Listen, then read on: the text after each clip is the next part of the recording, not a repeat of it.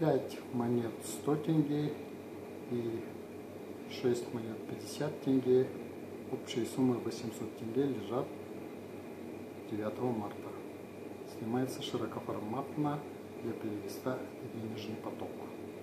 Ну пусть монеты и маленькие деньги, но это деньги, и это действительно тоже денежный поток.